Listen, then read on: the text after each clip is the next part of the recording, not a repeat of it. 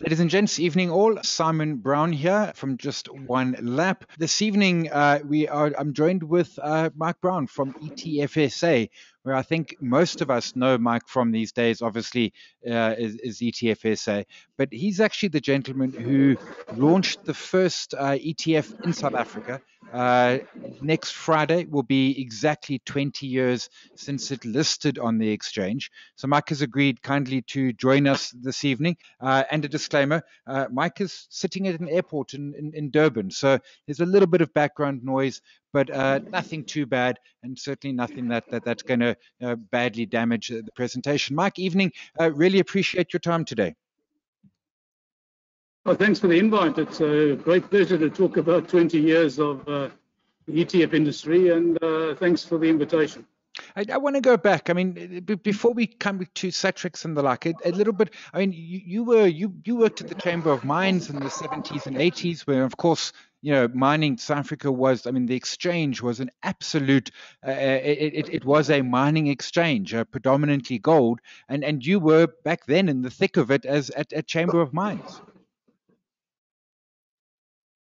Um, I did. I was the chief economist of the Chamber of Mines. Uh, that was a long, long time ago. We used to run an intelligence service trying to predict the price of gold, which was, uh, we spent a hell of a lot of money in the mining industry doing that and found that uh, we weren't much better at it than anybody else. But that was a lot of fun. And, uh, and that got me into the investment industry because we, uh, we established quite a big investment uh, department in the chamber to sell Krugerrands and the proceeds of Krugerrands and mm-hmm we actually got the foreign exchange market going in South Africa. In the old days, you had to sell any foreign exchange had to go to the Reserve Bank, and the Chamber of Mines was the first company that broke that monopoly. So it was a nice background. Uh, but then I got into investment banking, and uh, when I was with Gensec Bank, we uh, we started looking at ETFs, which had just been started in uh, Canada and America, and said, why don't we do one of these in South Africa? And that's where uh, that's where Satrix came from because we weren't. I mean, if John Bogle started, there were index unit trusts or mutual funds, and that was back in the 70s.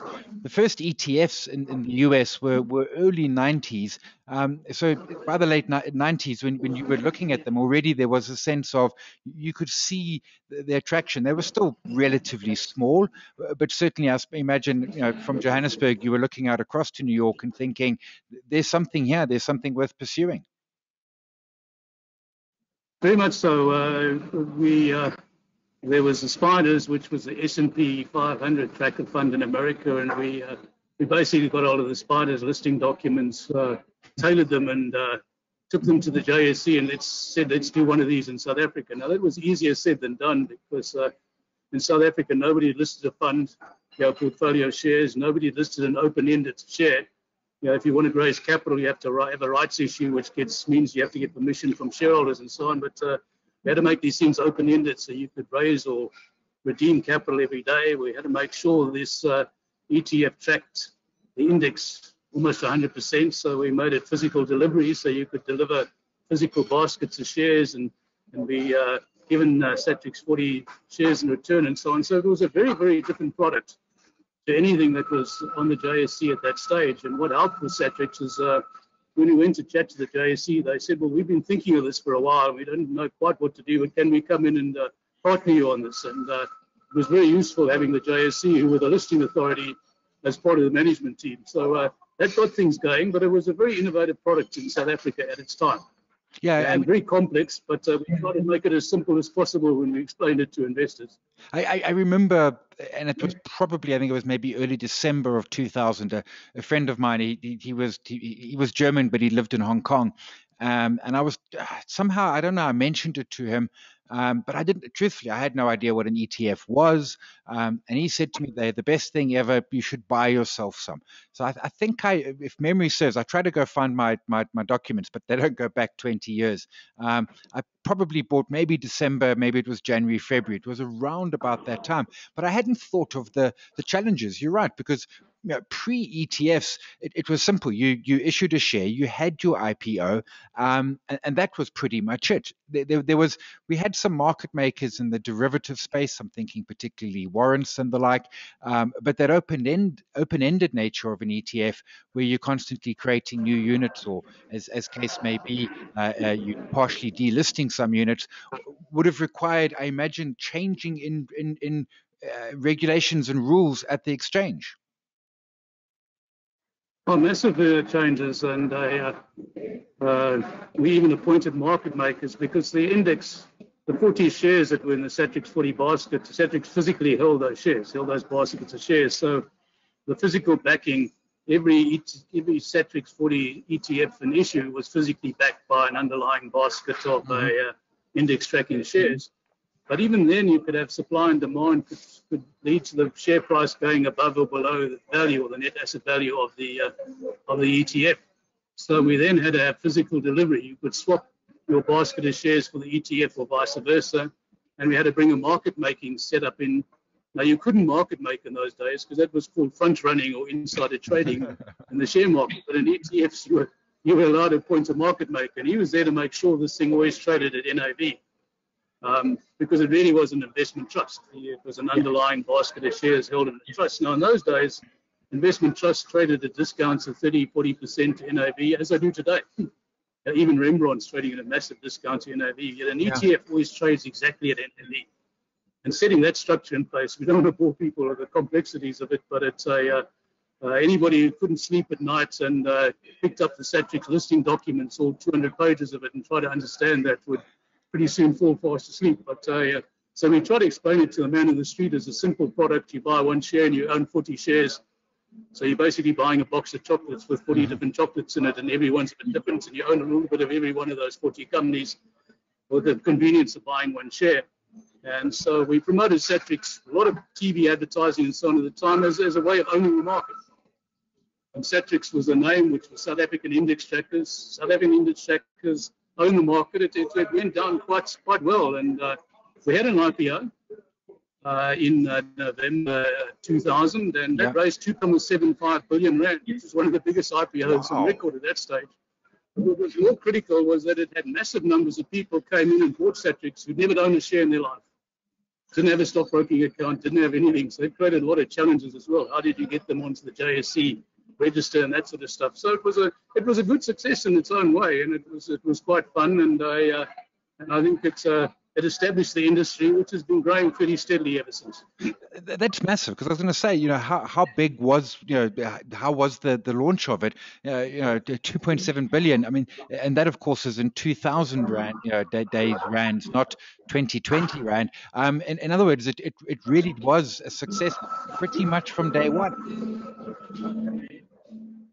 Very much so, yeah, very much so. It, it uh, I think it surprised everybody, including the JSE, and, uh, and to some extent Gensec Bank. And but some of them helped us out of it. Some of them put quite a lot of capital into it. So, mm-hmm.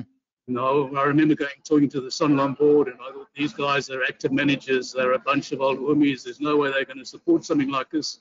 And after a while, they said, "Okay, Mike, we'll, we'll, we'll help you out a bit," and they did. They put quite a lot of money into it.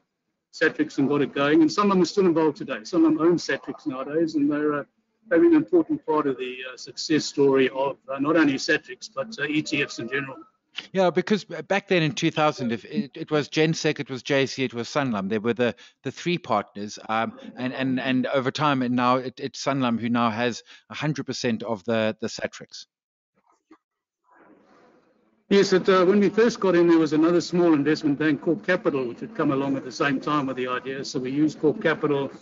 Um, Sanlam was a minority shareholder in Gensec Bank at the time, but eventually bought Gensec Bank out. Mm-hmm. And then Sanlam uh, eventually took over, you know, because the JSE was a shareholder in Satrix as well. And the JSE sold its shares in Satrix, you know, uh, in the market. Uh, I tried to buy them. I thought, well, I can own Satrix, but no, they, they said no. We wanted somebody of substance, uh, not a little, uh, you know, investor like Brown owning this thing, but it was a pity because it would have been quite fun to do that. Uh, uh, because at that stage you could buy it for a couple of million rand, which I, yeah, yeah. I could have found it from somewhere. Anyway, so that was the that was the situation. Uh, it's uh, now we've got an industry with more than 100 uh, ETFs listed, and it's over 100 billion rand. mm. from that 2.7 billion that it started. And virtually what happened with the industry, it doubled every four years up until 2014. And since 2014, it's stabilized. It hasn't been growing at the same rate. But the number of ETFs in issue have been growing very substantially. So there's lots of ETFs around that just haven't attracted the sort of capital that the original ETFs did. And uh, but I think that's laying the path for the next uh, growth in the next uh, number of years uh, going forward. That there are a number of ETFs around. There's different participants in the industry. It's not just Satrix, it's other people, and uh, they're pretty well known. Yeah. You know, if you really ask somebody about ETFs, so they, they sort of say, well, yeah, we've heard Simon Brown, you know, talking about them. We've got a fairly good idea what they are. Yeah, and I, I, take your point. I mean, there was a lot of growth. I mean, initially it was Satrix 40, and then the Satrix released the sort of the sub indices, the the Resi, the FINI, uh, uh, and the Indy. When were those brought to market? Uh, well, this, the FINI and the Indy were listed in 2002. So Satrix okay. was 2000, 2002. And then they listed the SWIX and the Resi and the others. So Satrix dominated all the South African indices, and nobody mm. else has been able to come in and really launch products on the big South African industry. Satrix dominated that. Uh, but what changed was that New Gold um, yeah. was listed in 2004, and that was Absa. So Absa Capital came along and said, we, are going to list a gold bullion ETF. Satrix has said we want to do that as well, but the JSE said we can't just have one company dominating the market. So let's bring Absa in to do to do New Gold. And New Gold actually meant that you could buy a physical bullion because uh, New Gold is 100% backed by physical bars, gold bars right from the start and still is today. And uh, that was a very big change because South Africans aren't allowed to own bullion. Yeah. But if you buy new gold and the other ETFs, uh, that's the way to, to get hold of this particular asset class. And the real growth in the industry from 2008 to about 2014 came from commodity ETFs. That was really where the growth took place. You know, uh, New Gold grew to about a 20 billion rand fund, and they listed uh, New Plats in I think in 2013 a new uh, platinum, uh, I think, raised 13 billion rand in one year, which was the biggest capital raising, yeah. not in, all in one go, but raised it over the year. I think it was the biggest capital raising for a long time. Yeah, platinum was quite popular at that point in time, and uh, it's coming back into fashion now.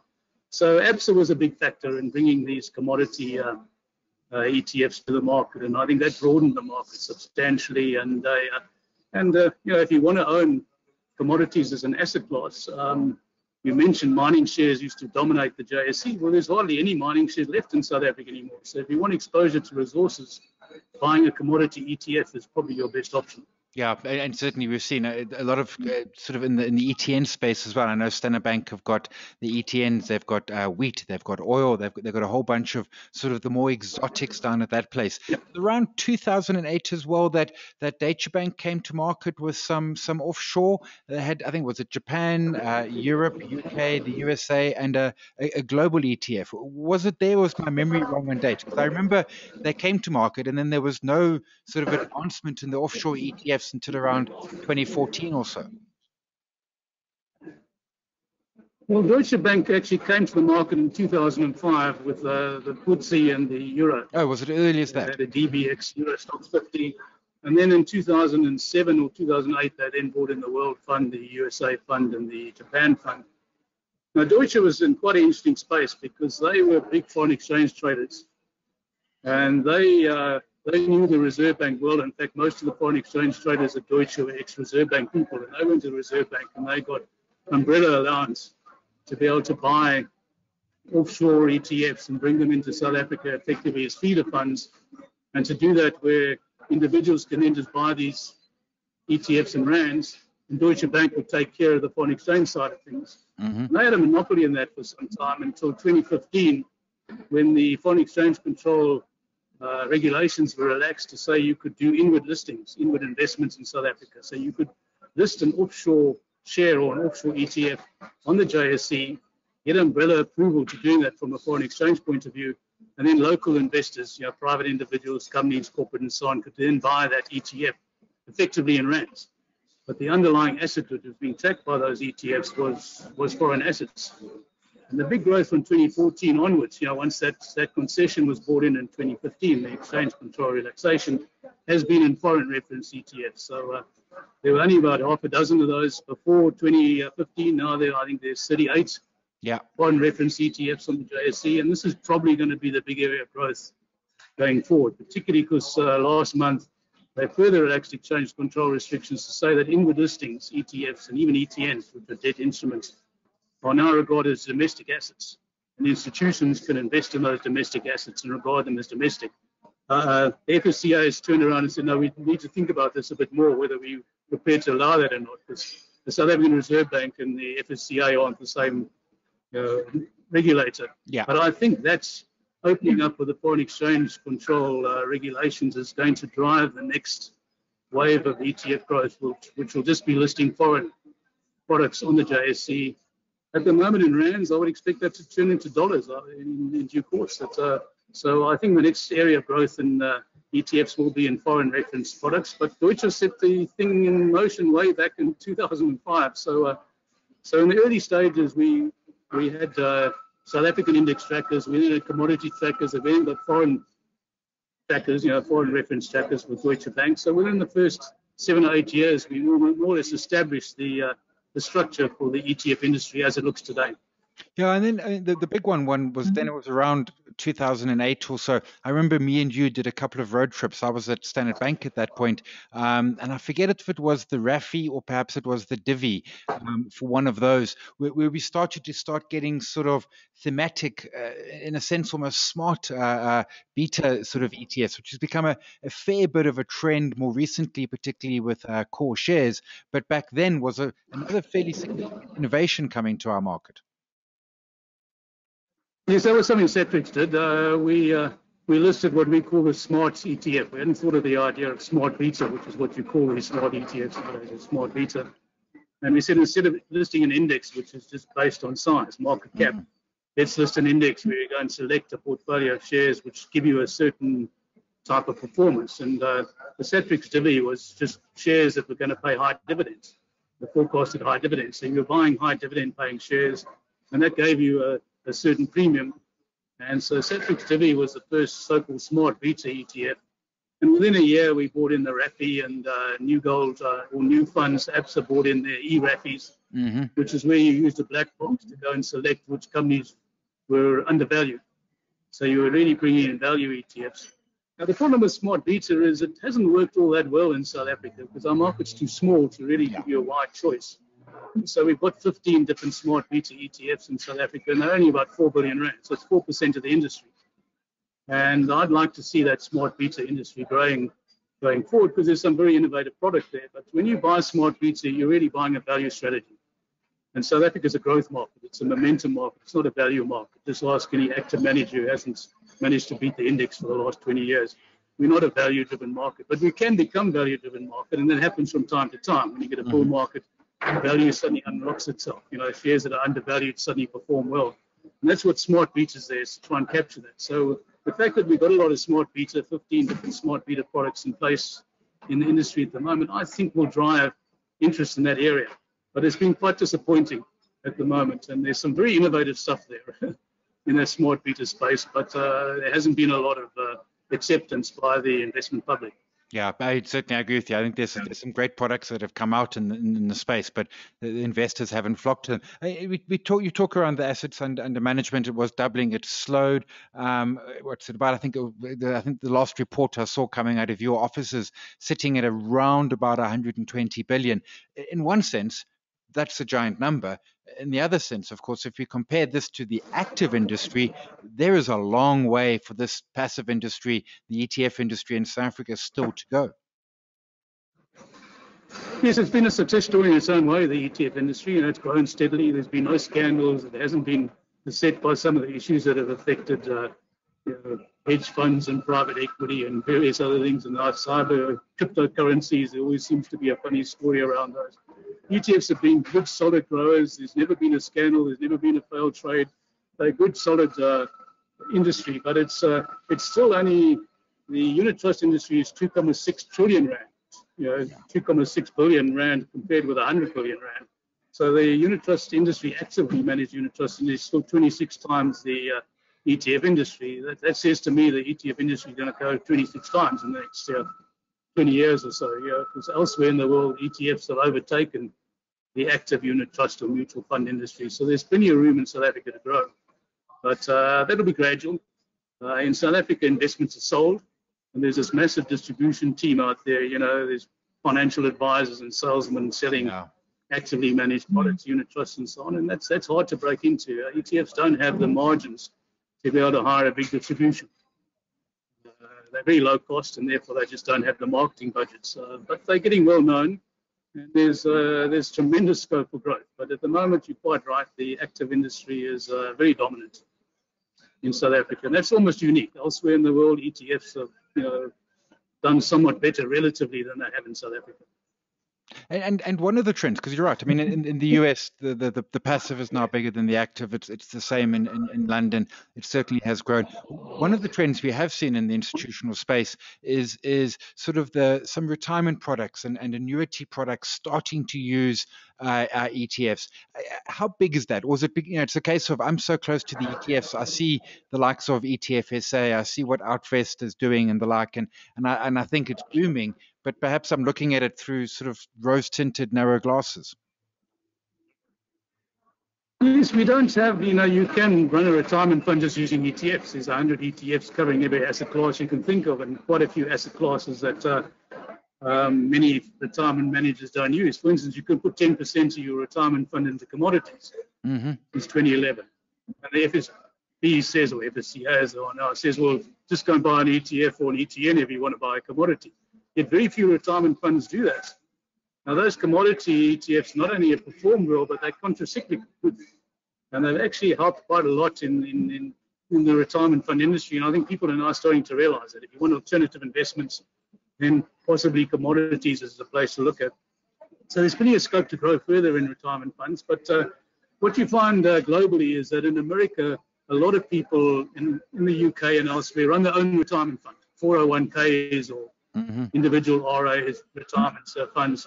In South Africa, nobody really runs their own retirement fund. You know, to get registered as a retirement fund is a massive problem in terms of registration and carrying capital and compliance and so on. So everybody buys a retirement fund from somebody, uh, you know, an asset manager, a life insurance company, or an ETFSA or something like that. So we don't have privately run pension funds in South Africa, and that's what they have internationally. And internationally, people who run their own retirement funds buy ETFs.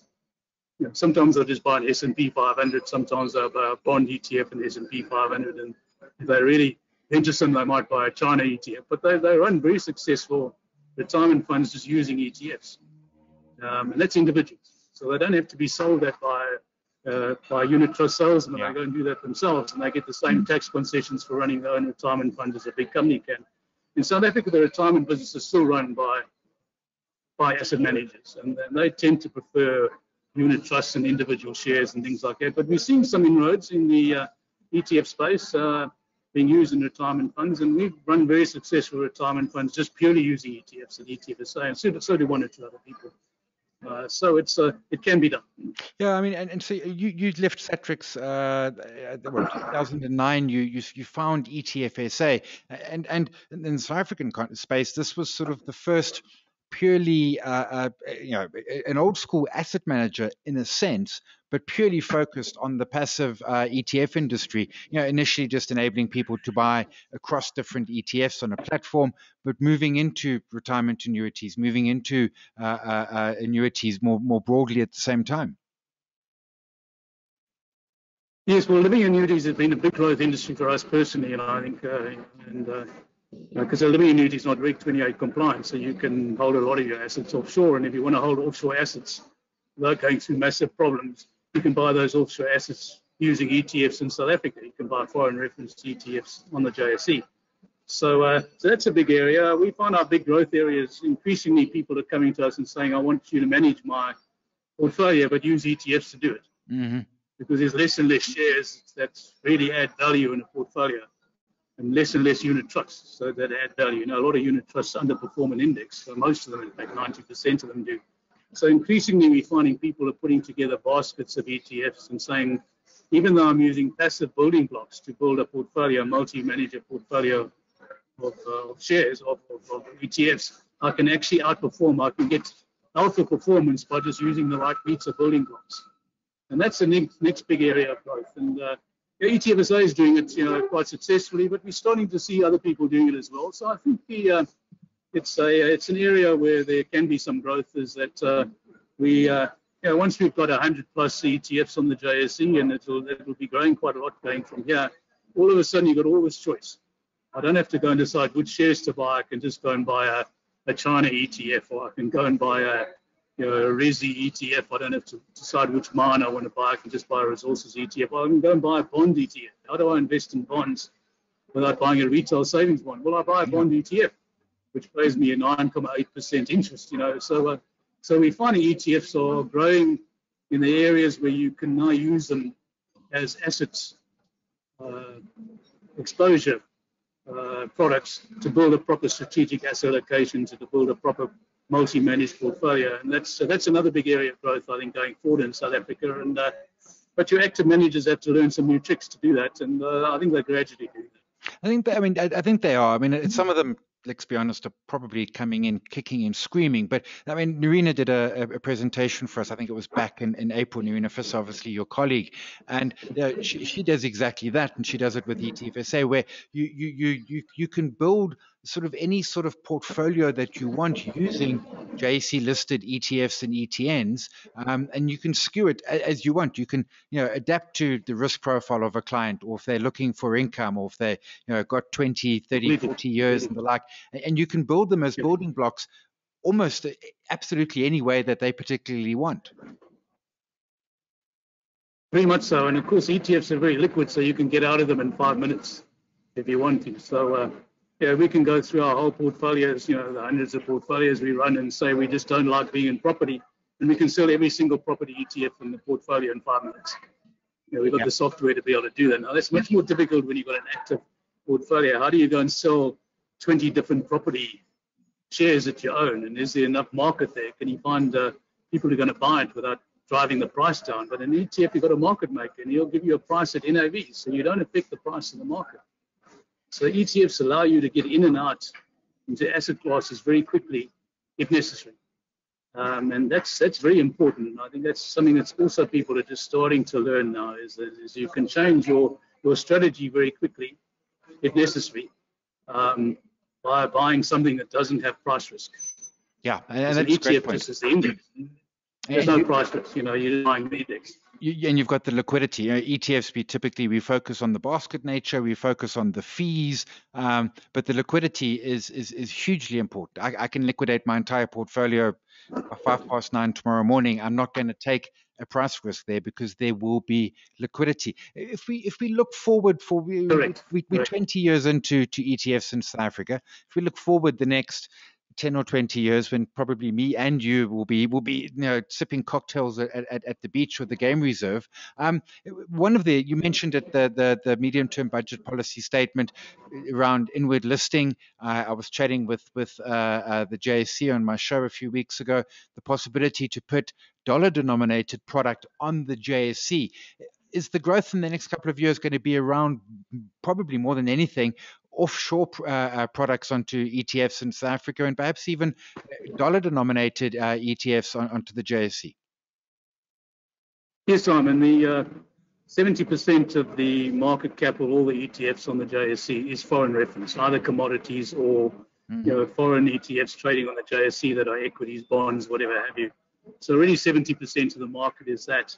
Now you've had the inward investment uh, lifting of those restrictions, which now means you can bring in ETFs globally and list them on the JSE in any sort of number. There's, you know, there's 6,000 ETFs worldwide, and we only got a very small selection of the types of ETFs that could be brought into the JSE. So I see that being a great big area of growth. And I think the next step, yes, if you're allowing, you know, people to bring in foreign reference ETFs in dollars and then trading them in rands, why don't you just trade them in dollars? Yeah. So uh, I think when the Reserve Bank gets some confidence, I think that's what we'll see. So we'll probably see dollar trading on the JSE, but probably initially in those big inward listed companies. In other words, companies which are secondary listed in the JSE but have a major listing offshore. So the risk is not um, you buying those products, you know, for, for, for primary market. You're not, you're not having to run that whole Yeah, uh, did we lose you there for a moment? Nope, there we go. Um, and, and then uh, the, the other thing in the US, we see a lot of the sort of synthetic ETFs, and, and by this I'm referencing uh, the the the ones that are, are inverse ETFs, so they go down when markets go up, or the other way around. The ones that offer gearing, etc. And there's been some challenges around, them. there's been a couple of them that have blown up. I a lot of people are asking me about them from time to time. I'm not sure I particularly like them, but is that something which might in time also come to the JSE, or is your sense that perhaps we really don't need to, to add any sort of gunpowder to an ETF?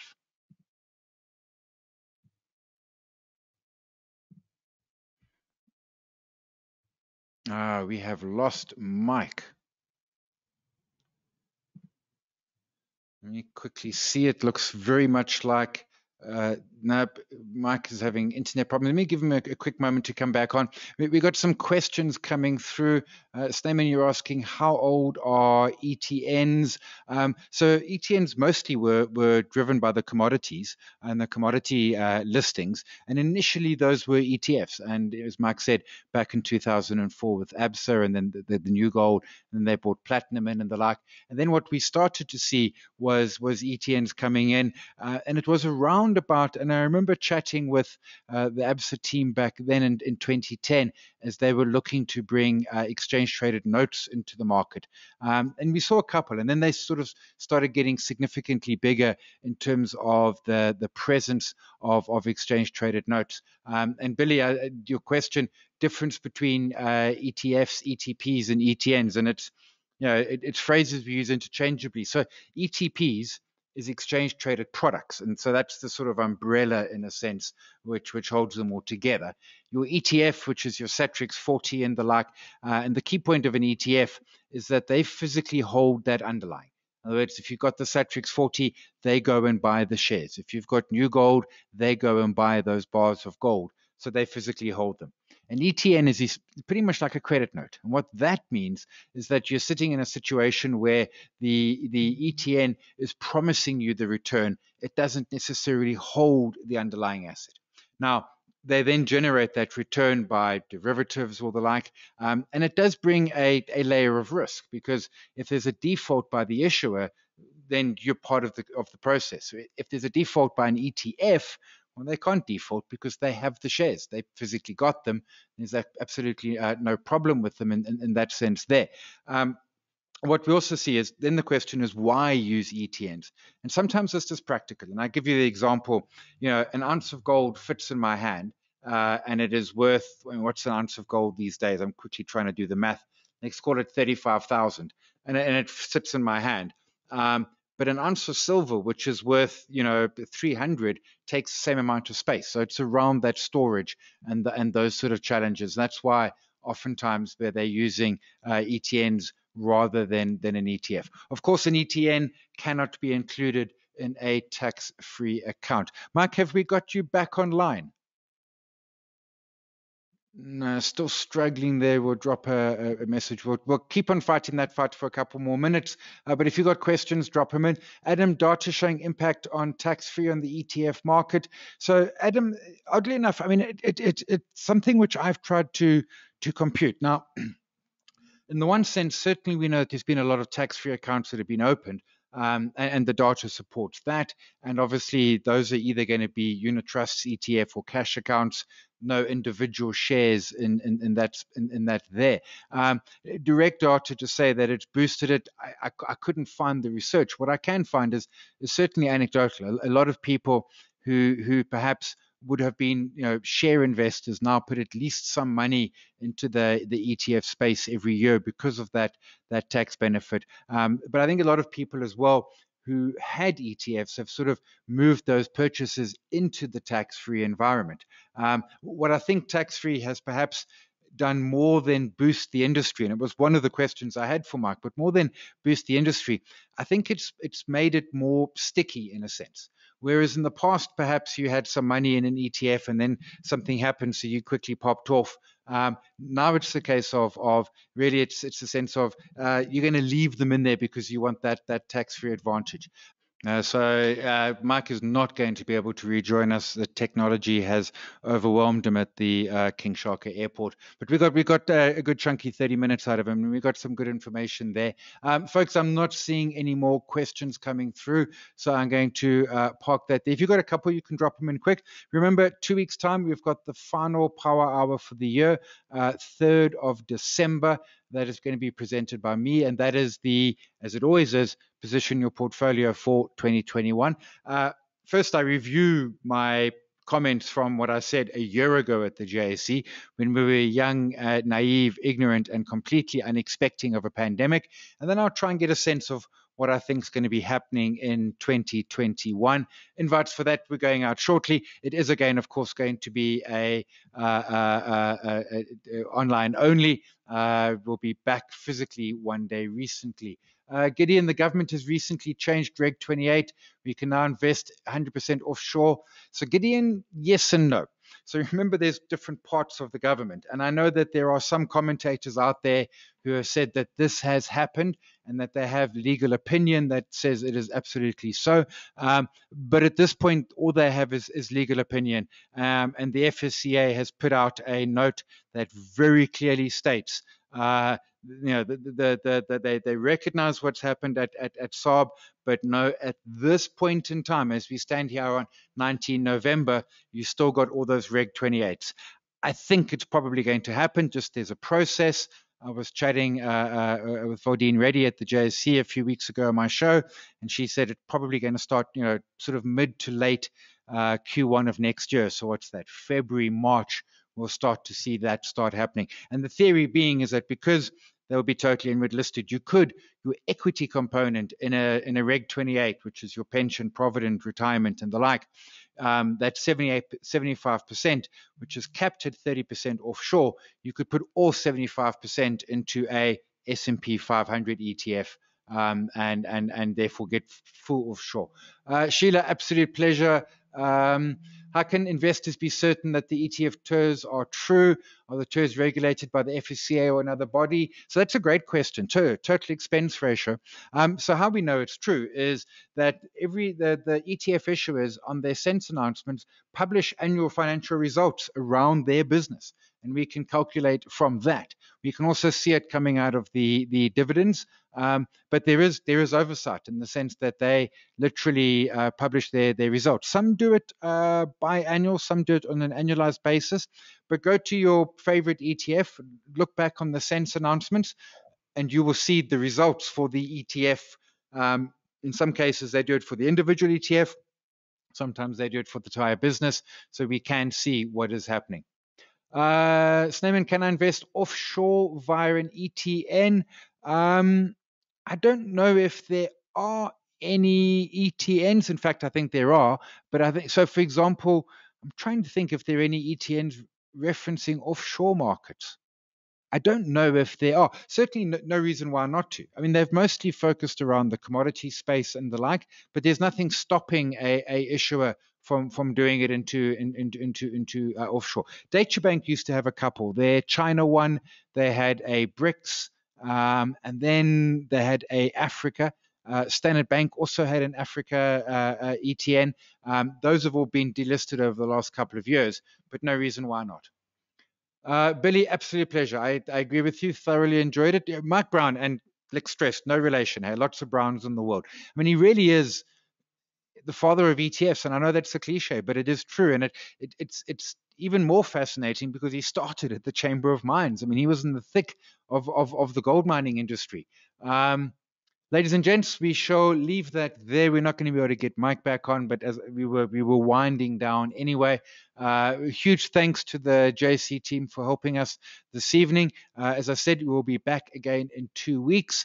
Uh, everyone, stay safe. The video will be up. A couple of folks asking for video. It'll be up on justonelap.com. Uh, that will be live later this evening. And then ETFSA will also add it onto their website, no doubt. I will send them that link. Everyone, appreciate your time. Have a great evening further. Stay safe.